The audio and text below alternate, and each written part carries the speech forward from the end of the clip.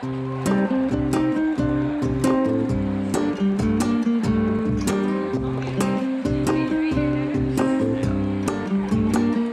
guys, Geoffro here from Ruthless TV. I'm here with one of the gentlemen from the industry, Josh Sara. We're going to have a bit of a chat about some of his work. How you doing, Josh? Good, buddy. How are you? Awesome. Um, you've been down here at um, Rites of Passage for, for the last two days. Done a couple yesterday, did you? Or one Done one yesterday? big one. Yeah, Yeah. one big cracker. Yeah, big skull cheek. Black and grey's your go-to thing, mate. You're pretty happy doing it? Yeah, yeah, I gave up the colours. Yep. Yeah, just gave them away. Fibber. Yeah. no, Um, no, I borrowed that one yesterday. Yeah, yeah, yeah, wasn't yeah. mine. Yeah, Doesn't yeah. count if it's not yours. Yeah, yeah, that's fair. Fair enough. Every now that. and then I'll bust out one, but other Yep. than that, Yep. stick to black and grey. Just got back from some travelling, mate. How'd that go? Yeah, went alright. Went Yep. alright. Been tripping around for a couple of months. Yeah, nice. Went to New Zealand, Thailand, um, a few places in Australia.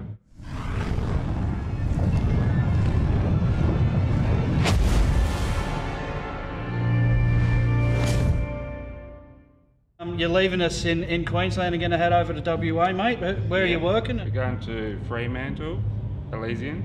Yep. Um, it's a nice shop, run by Jeremy, so it's cool. Yeah. Mate, you know, the, the industry's getting bigger.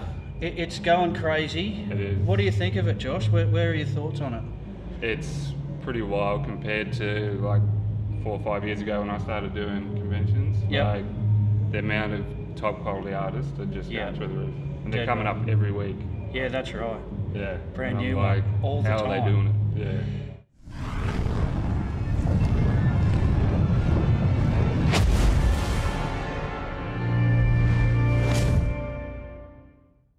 You, you follow Instagram like like most artists. Who's uh, who's someone that you've seen over the last you know month or so that you've got? Oh my god. I'm loving Jackson Mays stuff. Yeah. You know, Yeah. and Kale. Those two are great. you know. Yeah. Yeah. It's pretty different style to what I do. Yeah. But just seeing some of their stuff in real life, it's just like a sticker. If there's any straightforward basic advice you can give an up and coming artist, what is it?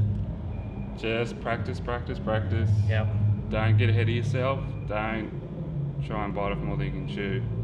And just more time under the Yeah. needle. It's just money in the bank.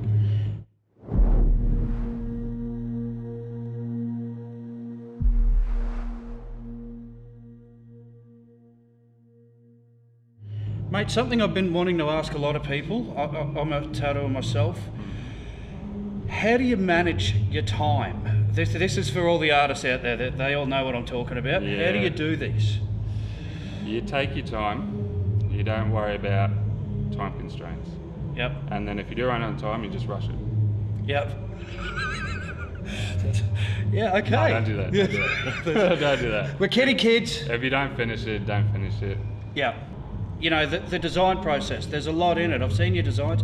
Whether, whether you're on whether it's Photoshop or you're drawing from scratch, it's still time consuming. How do Yeah, you how do you finish a tattoo after, you know, Yeah. bombing someone for nine hours and then go home and des- design another sleeve for tomorrow? Yeah, that's if you like what you do, you know, you get obsessed with it. Yeah. So you don't really take much time off. Yeah.